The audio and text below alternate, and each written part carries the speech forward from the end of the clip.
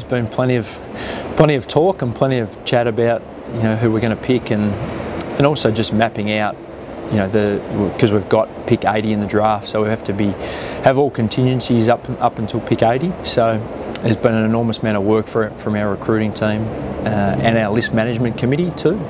Mark and Bryce play a, an enormous role and head up the recruiting team, so they give direction to the, to our other staff in, in terms of being able to bring all the information together from character assessments to inter, you know player interviews to psych testing to physical testing you know being able to bring all that information to the table. Jy Simpkin's a different type of player, but um, in terms of we've spoken about um, giving us a point of difference with our midfield or our, our, our, playing group and just that bit of X factor and uh, the ability to, to impact a game um, without a lot of possessions. And yeah, sure, we we haven't seen much of him this year due to injury, but if, if you rewind 12 months ago, look, I guess um, we wouldn't even be talking about him at, at, at pick 11 given that he'd be a top five, top six player. So whilst he's different to Brodie and uh, Perryman, um, certainly be a welcome addition to our playing group, I would have thought. You mentioned the X factor there, Bryce. So you're right. Uh, one of the things I really like about Jy is that he brings that touch of X factor and goal kicking ability, but he plays footy the right way too in terms of his footy character. I reckon, like he, his intent and his tackle pressure and energy and effort around the footy are as good as anyone in the draft. I reckon. Mm. His work rate's going to translate so well to the bigger ground at AFL level. Got a competitive streak vision awareness and traffic, bring other players into it.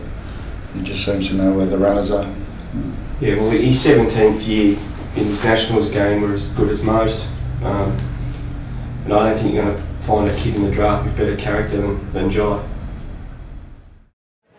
By today, we're probably only thinking about one or two things around, um, you know, one or two specific players, but we're, we're pretty set on what we want to do and and the strategy around our four selections.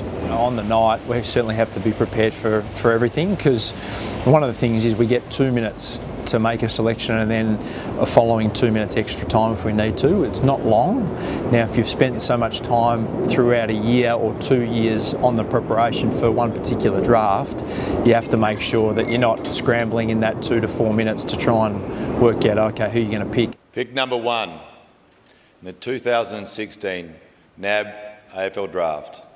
Playing for the Essendon Football Club, we Andrew McGrath. Chris Fagan, and with him, the number three pick, Hugh McCluggage. Yeah, for pick nine, the Gold Coast Suns have chosen Will Brodie from the Murray Bushrangers. The pick 12, Jace, the North Melbourne Football Club has chosen Jy Simpkin from the Murray Bushrangers.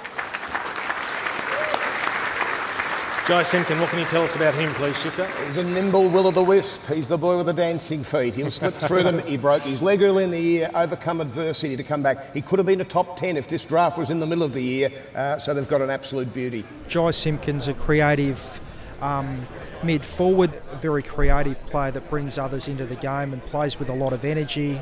Uh, I guess X factor and unpredictability with Brent and Daniel Wells.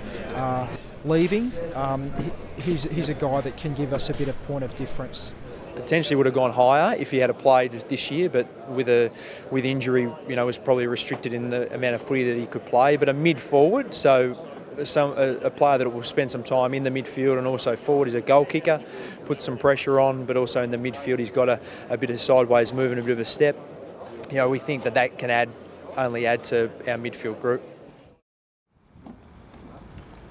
I think it's sort of soaked in now, so I'm pretty excited and um, yeah, just yeah, I guess I'm grateful for the opportunity I've been given and yeah, can't wait. Hopefully the docs give me an all clear and hopefully get yeah do most of the training. So yeah, looking forward to fly back this Arvo and then um, back up tomorrow night for training on Monday. So yeah, it's yeah, it's really quick. I did a pre-season last year for the NAB AFL Academy with um, Richmond and Melbourne, but yeah, every club's different, so it'll be pretty tough.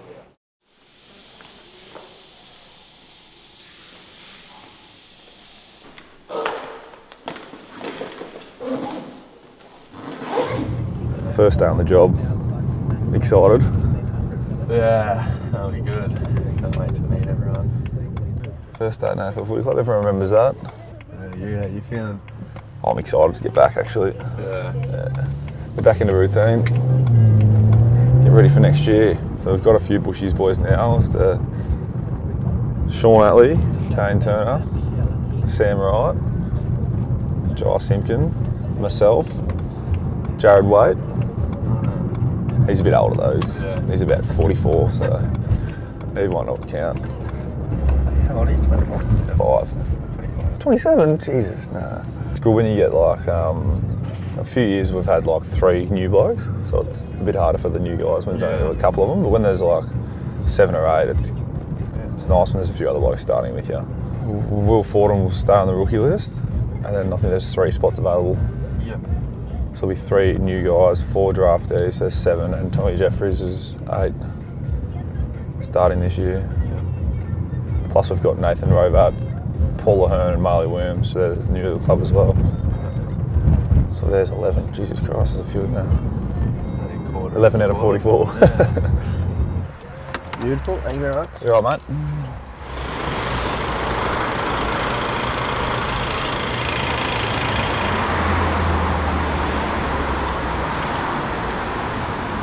the players that potentially would come to our club and they, they're going to get a, an unbelievable opportunity to, to be at a club for a minimum of two years and try and make the best of it and, and take their opportunity when it comes. So it's a again being part of the AFL as a player, it's just an unbelievable opportunity and, and we think being able to come to North Melbourne's an even better opportunity.